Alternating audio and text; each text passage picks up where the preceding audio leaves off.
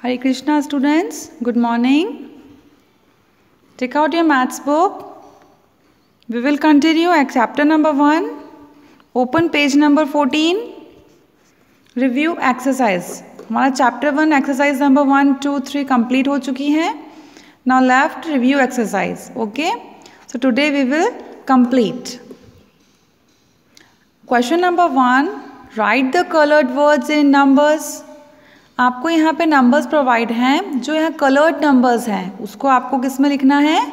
Numbers में okay A है हमारा there are 206 bones in our body हमारी बॉडी में कितनी बोन्स होती हैं? बोन्स मीन्स हड्डियाँ, कितनी होती हैं? 206 राइट इन नंबर्स इनको आपको किसमें लिखना है? नंबर्स में. सो वी विल राइट 206 इसे हम क्या पढ़ेंगे? 206 ओके नेक्स्ट है B Mount Everest is 8,848 metres high जो माउंट एवरेस्ट है वो कितना कितना ऊँचा है? उसकी लंबाई कितनी बता रखी है यहाँ पे?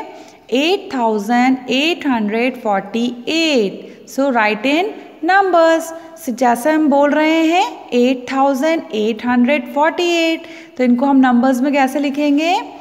Double eight four eight means eight thousand eight hundred forty eight okay जैसा हम रीड करेंगे, वैसा ही हम उनको नंबर्स में लिखेंगे. थाउज़ेंड की अगर रीड कर रहे हैं हम तो फोर डिजिट्स की हमारी नंबर्स मिलेगी हमें. अगर हमें हंड्रेड की रीड कर रहे थे तो हमें थ्री डिजिट्स की नंबर्स हमें लिखना है. ये आपको ध्यान रखना है. Okay now question number two write the coloured number in words अब आपको यहाँ पे पहले नंबर्स में लिखना था। अब नेक्स्ट क्वेश्चन में आपको write colour number in words आपको यहाँ पे नंबर्स प्रोवाइड किए गए हैं। So will will convert into number names okay A है India got its freedom in the year 1947 हमें भारत को आज़ादी कब मिली थी? कौन सा ईयर था वो? 1947 ओके okay? 1947 को हमको किसमें कन्वर्ट करना है? नंबर नेम्स में। सो राइट 1947 जैसा हम बोल रहे हैं, वैसा उनके स्पेलिंग लिखेंगे। One O N E one thousand T H O U S A N D thousand nine N I N E nine hundred H U N D R E D hundred forty F O R T Y 47 S E V E N 7 1947 okay? Next question B.